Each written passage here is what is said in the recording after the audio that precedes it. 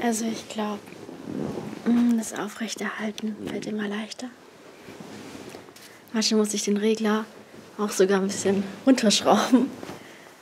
Ähm, weil manche einfach überfordert sind, obwohl wir müssen nicht, aber ja.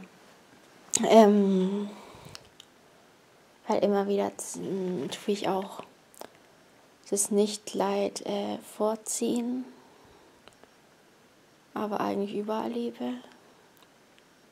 Und genau zu diesem Einheit-Dingens.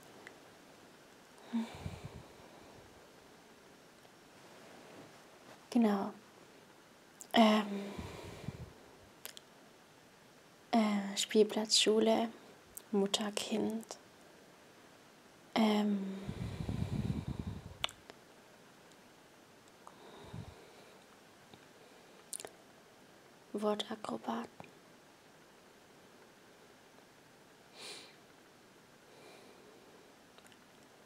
Wortakrobaten.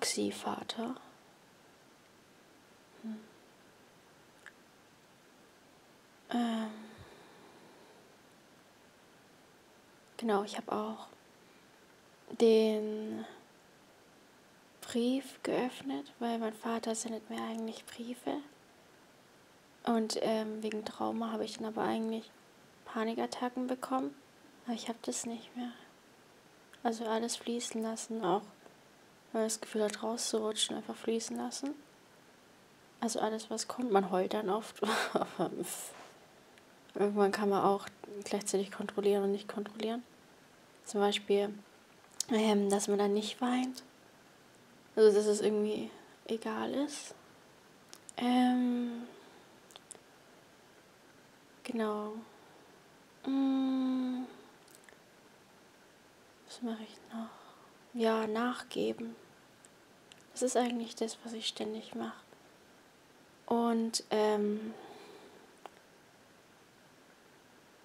es ist so sanft, dass es manchen Leuten wehtut. Und es tut mir leid.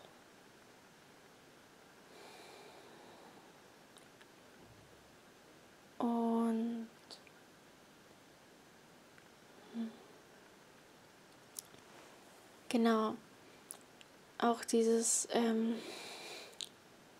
wenn man dieses Emotionssurfen macht, also bei allem mitfließt, ähm, was da irgendwie kommt oder man auch fühlt oder so, ähm, es pendelt sich ja irgendwie mehr, immer mehr ein. Und dann war kurz noch so eine Angst da wegen Nullpunkt. Aber Nullpunkt und Pendeln gleichzeitig zulassen innerlich. Also, wow. Ähm, ich schreibe auch mit manchen Leuten. Ähm, ja, einer hat dann auch zum Beispiel sein inneres Kind mehr rausgelassen. Das war voll schön. Ähm, weil mit den Rumblödli ähm, kann man, glaube einfacher loslassen. Dann tut es nicht ganz so weh, wenn es so spielerisch macht. Ähm, aber gleichzeitig eben erwachsen und Kind sein, beides. Und ähm, genau, das hat sich wie Geburt angefühlt, dieses gleichzeitig, dieses Pendeldings und dieses Nichts und ähm, vielleicht irgendwie Entstehung, keine Ahnung. Auf jeden Fall war es krass. äh, ich habe ich weiß nicht. Ich probiere gerade einfach aus. Also auf Kommando einschlafen kann ich noch nicht.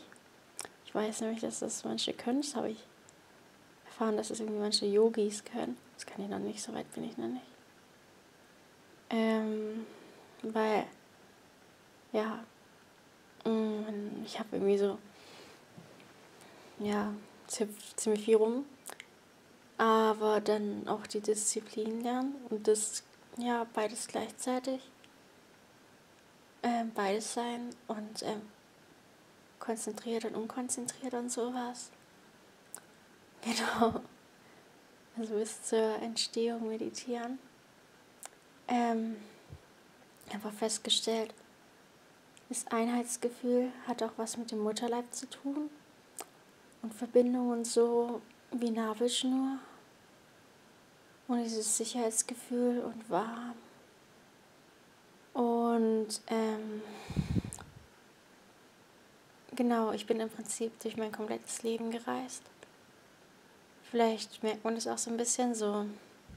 Ähm, ich wurde irgendwie immer jünger bis zu meiner Entstehung, obwohl es zwischendurch so ein bisschen auch so geschwankt hat, mm, wie arg das jetzt war, aber aber gleichzeitig dann auch dieser IQ von einem Erwachsenen. Das ist sehr lustig. Ähm, ja, intelligente Kinder. Ja. Und ja, gleichzeitig eben Verstand und Emotion. Ähm,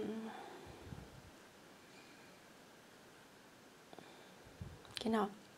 Ich habe mich ähm, wenn ich da quasi jünger wurde, weil ich bin ja durch mein komplettes Leben geflossen. Ähm, ja, ich denke, ich musste manche Dinge einfach nochmal erleben, um neu zu lernen, weil Kinder lernen besser. Ähm, und positive Erfahrungen sagen, zum Beispiel sowas wie Nein sagen, aber auch nachgeben. Ähm, ja, also ich lerne halt immer mehr diesen Zustand. Weiß ich, ich spiele da teilweise auch so ein bisschen rum, weil lustig. Also zum Beispiel irgendwelchen Quatsch machen. Ähm, aber auch überall diese Ruhe in jedem Wort. Ähm, in jedem Wort Liebe. Selbst wenn man schreit. Genau. Und ähm, habe was geschenkt bekommen von einer Mitpatientin. Weil manche öffnen sich gerade auch mehr, weil ich immer wieder eine Wühlmaus bin. Ähm und ja, genau, also so zwei Fackeln sind für mich und meinen Freund. Das ist eine Überraschung. Und genau, das Kind hat dieses, ja, alles wird gut, Bauchgefühl. Das kann man auf jeden Fall nutzen. Und ähm, ja, diese, dieses kindliche Urvertrauen in alles. Aber ja, der Erwachsene passt auf und ein Kind kann rumrennen. Mm. Äh, ja, ich meine, okay, der Erwachsene kann auch handeln. Ich merke auch, so der eine Anteil lernt, lernt vom anderen, so die ganzen Fähigkeiten. Oder, das ist zwar so lustig, als ich so wirklich jede Altersstufe durchgegangen bin. Also wirklich ich glaube, teilweise ist da echt ein kleines Mädchen rumgelaufen. Ich meine, man kann ja so arg meditieren, dass man anfängt zu brabbeln. Und genau, ich habe was bemerkt. Und zwar, ähm, es war ja die ganze Zeit da mit der Erleuchtung. Aber ich habe es halt immer weggedrückt. Und äh, wie oft es bei mir gekommen ist und wie also mir ist jetzt, ich weiß jetzt immer, wann es kam. Und ähm, genau, ich hatte eine Zeit lang befürchtet, es wäre Tourette oder so. Das war einfach der Kontrollverlust. Ähm, man kann den auch so arg geschehen lassen, dass man gar nichts mehr mitbekommt. Ähm, genau. Aber dieses Ganze mitbekommen, ähm, da bin ich nicht lange drin. Ähm, obwohl, naja, mh, mm, zumindest, dass man nicht mehr zum Beispiel an irgendwelchen Geräuschen haftet oder sowas. Ähm, ja, man kriegt einfach weniger mit manchmal. Aber irgendwie auch so viel. Also einfach durch Emotionen schwimmen. Und äh, genau, ich lerne halt immer mehr, gerade auch diesen Verstand als Werkzeug zu benutzen oder das Ego oder so.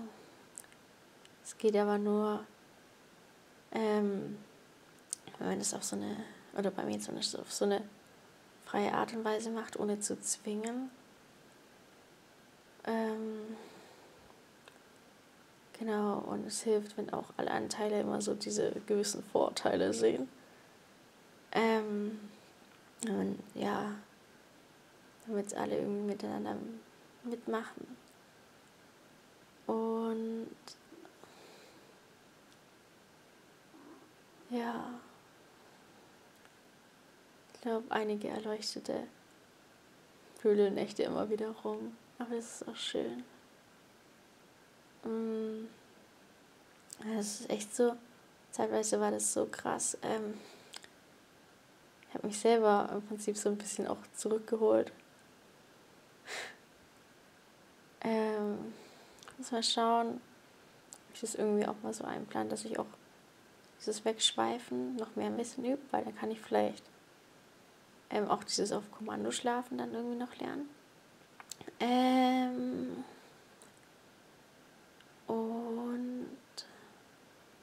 Genau,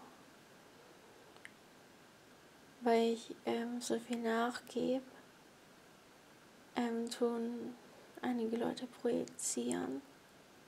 Und man projiziert, glaube umso mehr, je verkrampfter man ist. Es ist nicht schlimm, wenn man das macht, weil alles okay ist. Aber ich glaube, man kann da so sehen, wo noch so ein bisschen Auer bei einem ist, wenn man da irgendwie Angst oder sowas fühlt. Ähm ja. Mm.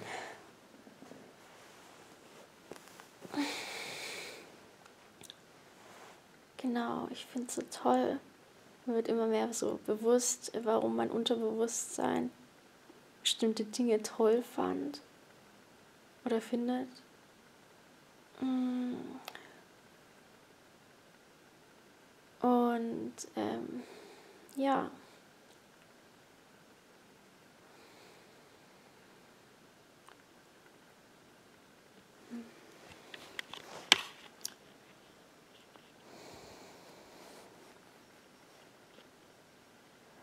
Ich lerne gerade eben noch, wie das für andere halt so am sanftesten ist zu fallen.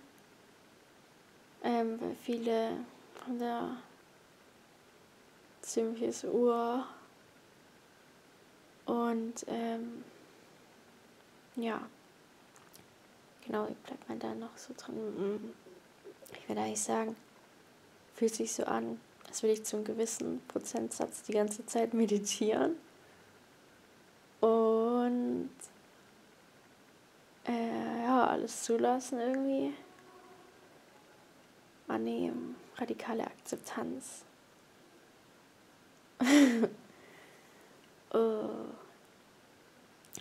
Und Captain Peng. Ich habe immer noch nicht äh, ganzen Lieder neu angehört. Ähm, aber wie weit er ist, das ist so krass.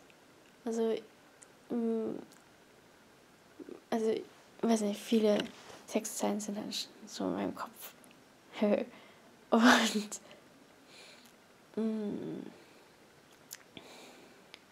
ja, ich merke halt so, immer wenn ich eine Erkenntnis gemacht habe, okay, der hatte das auch schon krass.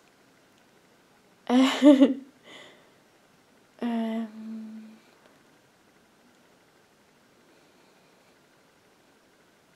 ja, ich freue mich auf meinen Geburtstag. Mm. Ja, dann sehe ich Captain Hang. Und weiß noch nicht. Ich finde es cool, da irgendwie auch dann zu filmen. Aber vielleicht nach der Musik dann. Und genau.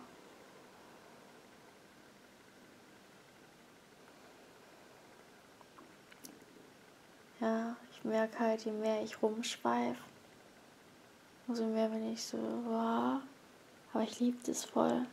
Ich meine, ich kann auch weniger rumschweifen als jetzt.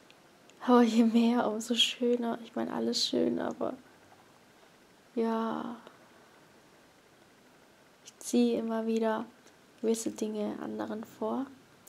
Also dieses alles gleich lieben habe ich nicht die ganze Zeit, aber immer wieder. Und das ist voll schön. Und ja.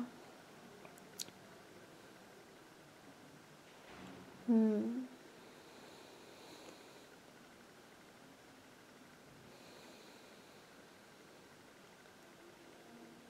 Ich glaube, ähm, mach vielleicht noch so ein paar Videos, ähm, was bei was hilft. Äh,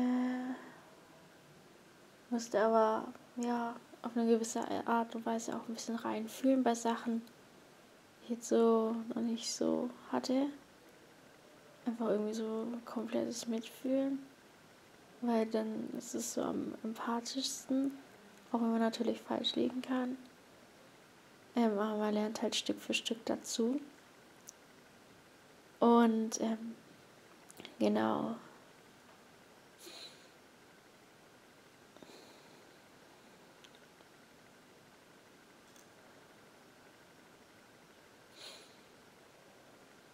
Die Fantasie kann voll das Werkzeug sein. Eigentlich alles. Auch zur Aufrechterhaltung. Ähm, Ja.